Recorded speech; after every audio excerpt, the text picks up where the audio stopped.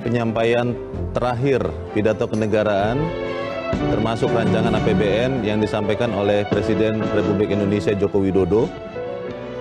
Karena bulan Oktober nanti tepatnya 20 Oktober 2024 Presiden terpilih Prabowo Subianto dan Wakil Presiden terpilih Gibran Raka Buming Raka akan dilantik untuk melanjutkan pemerintahan sehingga ini adalah momentum juga bersejarah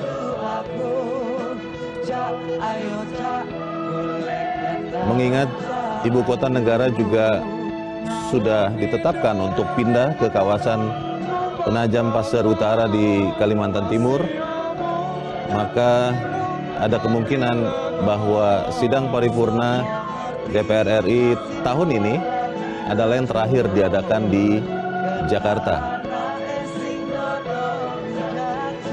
Karena undang-undang mengatakan, undang-undang ibu kota negara mengatakan bahwa eksekutif, legislatif, dan yudikatif akan beracara di ibu kota negara.